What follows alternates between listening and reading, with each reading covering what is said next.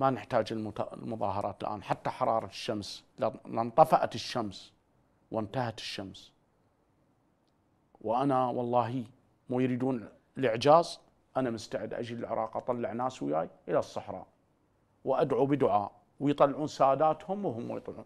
لا أحمل عظم نبي أنا أحمل إيمانا فقير أحمل قرآنا. وهم ليأتون بكل العظام.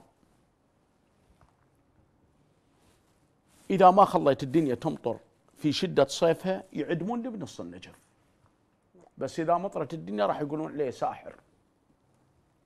أنا الذي أقسمت على الشمس بحلقة من الحلقات بعلي. لننتظر ماذا تفعل الشمس بالأيام القادمة. هل تذوب؟ هل ترجع حرارتها إلى ما لا يستطيع العرفان حامل العرفان أن يصل إلى ما قلته؟ لأن الشمس الذي رداها علي عليها أن تأتمر بأمر علي. ولكن نحن لا نحترم عليا. لو احترمنا علي ما نزلت إلينا الشمس. لبنان وسوريا مئات الأمتار عن عن العراق عشرات الأمتار. روح إلى الرمادي اللي هي حدود سوريا. سوريا باردة العراق حرارته 60 هذا شيء يدلل؟ لأنه عليا عندنا. مو سوريا ما بها فساد لا هي أم الفساد والفجور. لا.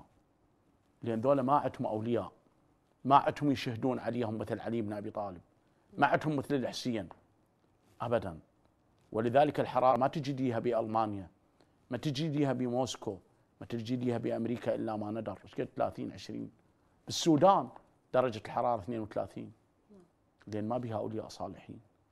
ليش إحنا؟ مو السودان على خط الاستواء كانوا يدرسونا يضحكون علينا بالمدرسة أن بالجغرافيا أن درجة الحرارة أعلى درجة حرارة هي على خط الاستواء.